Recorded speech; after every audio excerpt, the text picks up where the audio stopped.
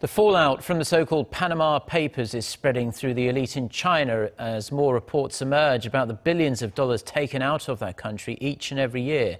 The New York Times and the Wall Street Journal delved into the names on the list of tax evaders, and controversy is intensifying that family members of key Politburo members, including President Xi Jinping, are implicated.